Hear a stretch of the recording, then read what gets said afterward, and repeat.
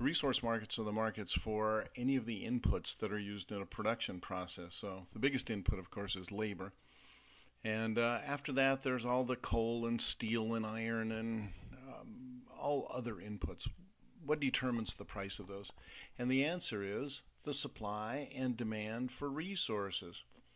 It turns out that resource demand, and here's a big key, is what we call a derived demand because it is derived from the demand for the product it produces.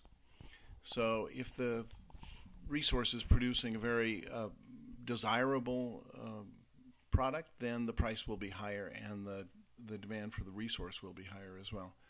Uh, if, however, you are a buggy whip producer, I suspect the demand is not going to be high and the price of your services will not be high. Sort of like, um, I don't know, um, the demand for basketball players versus the demand for uh, those um, curling, that ice thing where you sweep the ice. Anyway, um, supply and demand.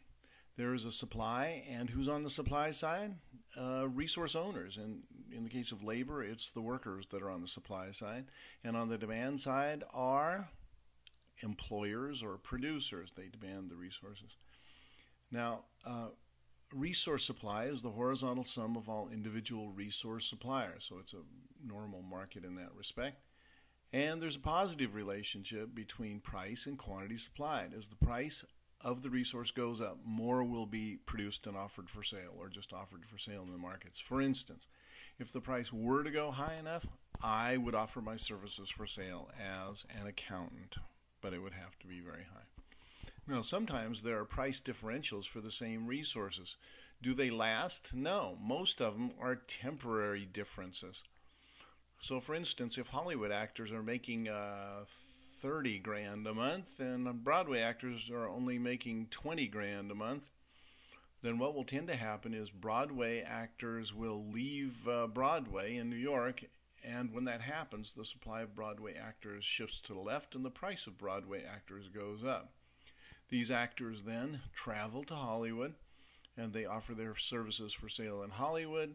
The supply curve of actors goes up in Hollywood and the price goes down, and the prices tend to equalize then. Those are temporary dif- differences in resource prices. But the, sometimes there are permanent differences in resource prices. For instance, seven foot basketball players versus five foot basketball players. Is it possible for five foot basketball players to migrate over to, to the other market for seven foot basketball players and cause the supply curve to increase? I think not. So these uh, differences that are permanent um, are the result of resource quality, productivity, or, re- or location um, water workers versus sewer workers. In that case, there are non monetary aspects of the job that uh, cause the price differentials. In other cases, uh, tree surgeons versus brain surgeons, or CPAs versus bookkeepers. So those explain permanent price differential.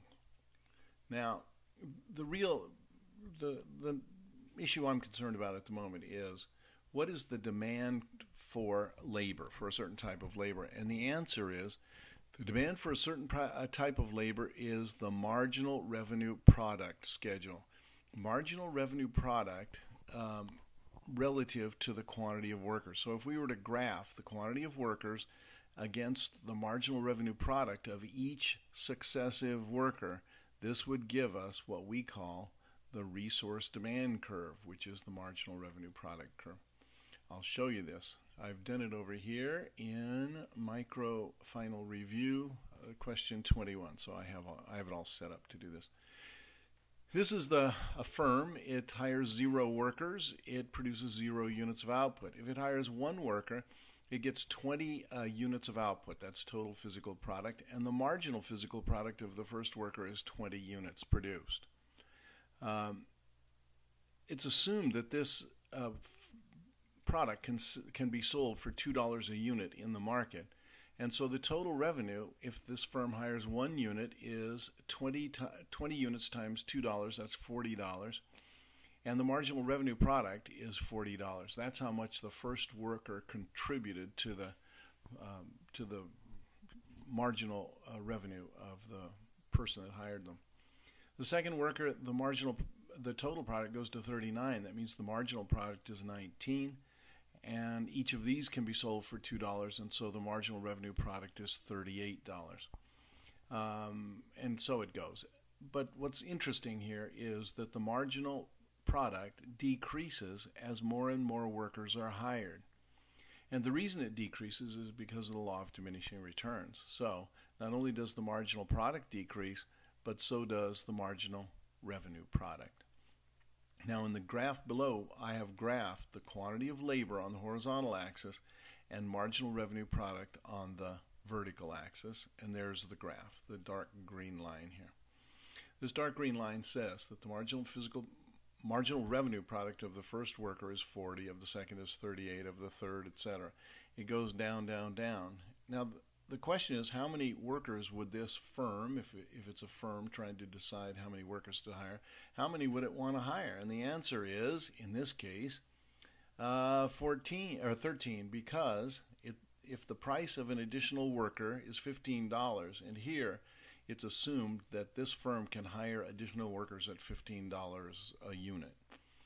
Um, so, will they hire the first? Yeah, because the, the price of the the marginal resource cost, the cost of the resource is 15, and the marginal revenue product is is 40. So it would be profitable to hire the first one. The second one costs you 15, and the marginal revenue product is 38. The third costs you uh, 15, and the marginal re- revenue product is 36. So as long as the marginal revenue product exceeds the marginal resource cost of $15, this firm will just keep hiring until right there. That's the last one. The 13th worker, the marginal revenue product is 16, the marginal re- resource cost is 15. If they hire an additional worker, that is, if they hire the 14th, the marginal revenue product is only $14 and it'll cost them $15 to hire them. So that would be a situation in which the marginal cost exceeds the marginal revenue, so they won't do it. So they will hire all of these workers down to the 14th worker, and that will maximize their well being if they do that. So that's why that intersection point. Now, what if the price of a worker was $20? They would hire, they just draw that resource cost curve out like that, and that would be the quantity. Um, what if, what if the marginal physical product were to increase, perhaps because of an increase in technology or because of uh, human or physical capital increases? If the marginal product increases, that will increase the marginal revenue product. And this demand curve would shift to the right.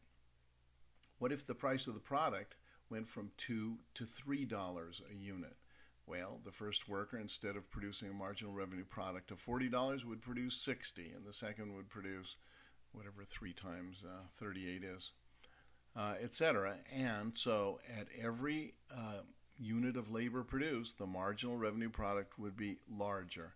And so that would shift the marginal revenue product out as well. In either case, more workers will be hired and um, if we were to look at the supply in the market as a whole, the supply curve would slope upward. Then both the quantity would uh, hired would increase, and so would the real wage. Anyway, that's it. Uh, demand is a, a, demand for a resource is a derived demand. It's derived from the demand for the product. Um, uh, there are price differentials. Uh, some are permanent, some are temporary. Uh, the supply is horizontal, that is, all the individual suppliers in the market add up to market supply. Same with demand, all the individual buyers of these resources uh, added up, that's market demand, and out of it comes a price. That's the equilibrium price.